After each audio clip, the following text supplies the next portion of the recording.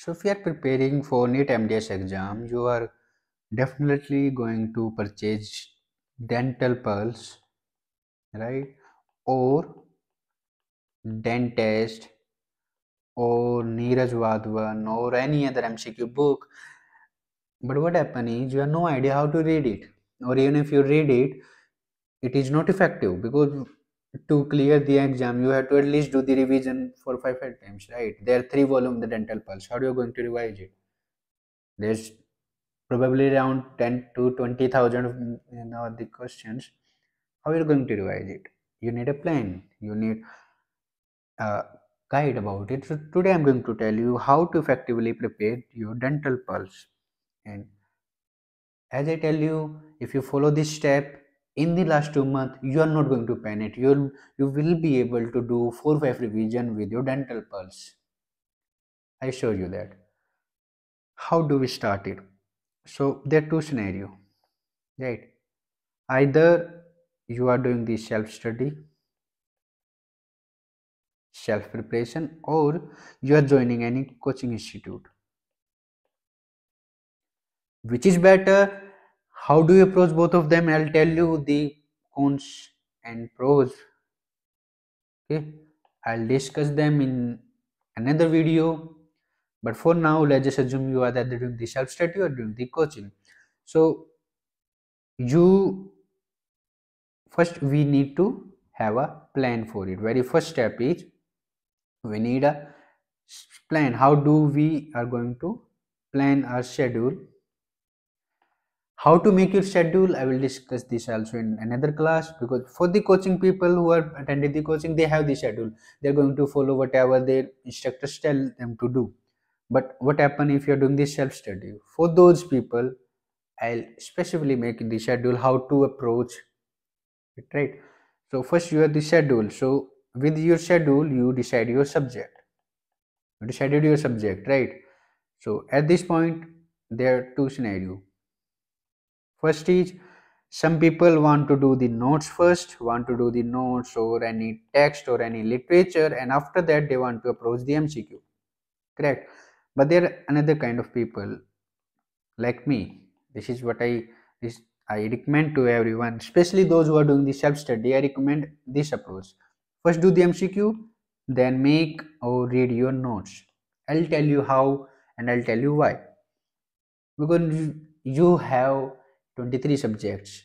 You cannot make notes of all of them from your standard books and you can't assume yourself to read everything right? It's it's very huge for you to do. So first thing is we are assuming you are aware of your subjects. So first thing is you open your subject and what to do? You read the first question right? For example in this scenario, your first question is most common side effect of oral administration of ampicillin. Right? You read the question, you read the uh, options, then what you do at this phase you have four kind of scenario and what could happen after you read your question so either you have no idea this is going to be most common with all of you you have no idea about question or answer or option right? Or you answered the question but there is no idea of the concept. You don't know the concept behind it. And problem with each kind of question is if they do the word play you are going to fail in the question. You you won't be able to answer it. You have to deal with it right? Third thing is you know the answer and you know the concept. Okay. And fourth scenario is is two is like you can answer it blindly. You can answer it you know the entire concept and you are damn confident you won't forget it even if you have alzheimer right there's some question like that like how, how many cranial nerves are there? Like for example they ask you how many cranial nerves are there? You know that right it's just 12 pairs. Right or they ask you how many number of eyes one person have. You know it's two you don't need to understand the concept it's just like stupid questions. So basically these are you can say stupid questions for you right? So what do you do for every question? You are going to mark right? If the, you have no idea about the question you will mark it as question mark right? And if you know the answer you will mark it as tick. Are you sorry you mark it as star. Okay. You will mark it as star. And you know the answer you know the concept you will mark it as tick and if you you absolutely know the answer if you absolutely know the concept you're confident about it you find it stupid you will mark it as cross then what do you do? Now at this page whatever your front page is you can do the extra exercise. You can just write here question mark. You can write your star you can write your tick you can write your cross. Okay? So what do you do? You read your question you just like you have no idea about the question you will mark it as star you know what something about this you mark it as tick some question are going to be tick some question just no you you don't read about it. You can even just put up like if some questions are way too stupid for you just cross mark. Or you can just put a cross in the next to it. And here i'll suggest you if you have the habit like for this question the answer is streptomycin or for the question the answer is diarrhea you are not supposed to do this. Not supposed to do this. Do not mark your answer in your dental pulse.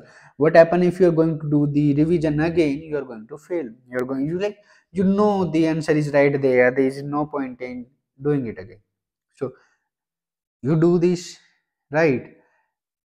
Doesn't matter how many questions you know doesn't matter how many answers you know you are just blankly blankly sitting in the paper right? And what you do after this it's going to be a little bit of hard work. For every chapter just write there are seven unknown questions. There are three questions with the star we i know but i have no idea of the concept there are five questions with i absolutely know there are two questions which are stupid. Right this is your first revision okay you read it. With this you read your questions. You read the explanation. Right and now you go for the second question. You read the explanation. Right so what you have to do in your first reading in your first reading what you are going to do? You are going to read your question right? You are going to mark it either star take or cross. Then what you're going to do? You are going to read your explanation right? And sometimes you can even mark it or note down it correct? Now what you do after this after doing the first reading you will go and make your notes. Or if you already made it if you already purchased the notes or you have the notes you will read them. Right. Now the scenario is what are the advantages of this method? You have a graph that how uh, you can say how confident or how good you are in certain topic right? You know your topic is good or bad for this respective subject. Second idea is you have a report card right? For example you are sitting in your exam right? For the three hours there is one question you have absolutely no idea. You will get to know can you blindly answer to it? Because you are not going to remember everything those things which are fixed in your muscle memory you are only going to answer to them only or you have the grasp of the concept. You are going to very first thing you are doing here is you are attempting questions for the first time. Basically you are preparing your mind for surprise question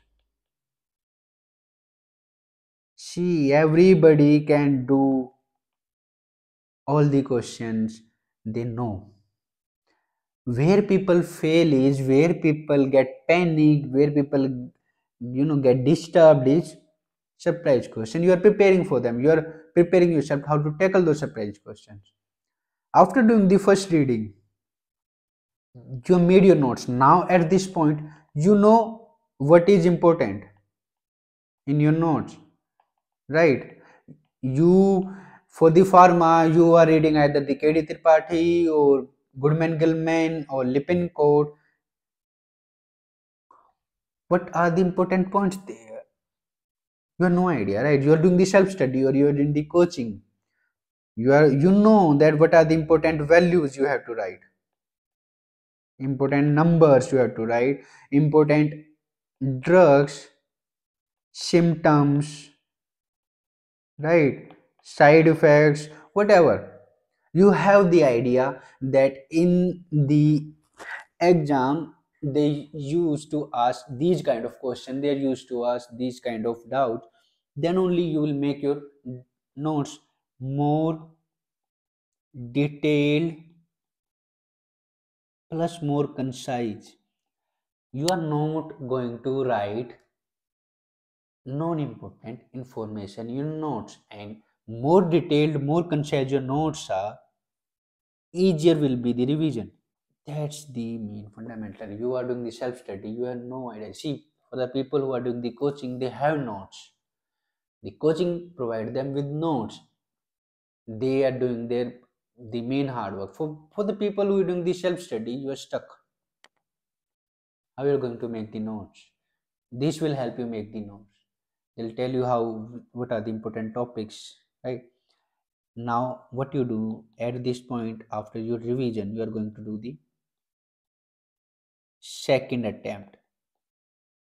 In second attempt you are going to do the same part. You are going to read your questions and at this phase only you are going to write. In your second in your second reading there are three question marks there there are four stars. Now they are eight tick marks. Now they are three stupid question or there are one stupid question. Sometimes you will just be able to visualize that those answers you you assume that you have the concept. Now you have you come to know that now the concept was wrong or incomplete. Right? You are just going to note down again. Right now you have the defined answer and in the second reading you you check that how many star how many question mark become star how many stars become tick how many tick become stars or how many ticks become cross mark. You have your live report card. You have your live update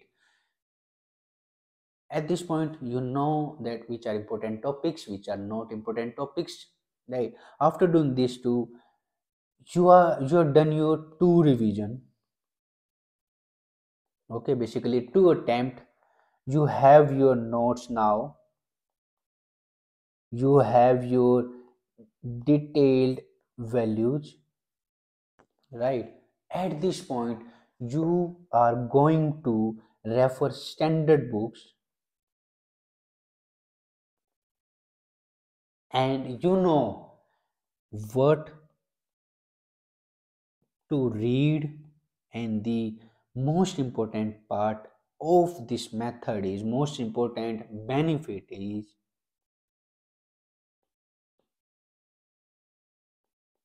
what not to read. This is important. This is where people fail to understand. Don't write book from a book. This is what i tell all of my students. Please stop writing books from a books in the form of notes. There's no point in. it if you are filling uh, if you have one register for your one subject you are doing it wrong okay you are doing it wrong please make as simple as possible don't build up 10 registers to prepare for your NEET MDS. You are not going to revise all of them. You are just going to look at your 10 register and you are going to feel demotivated. Please follow this if you have no idea what to do and if you have different method, if you have different approach, let me know in the comments. Thank you very much. We will meet again.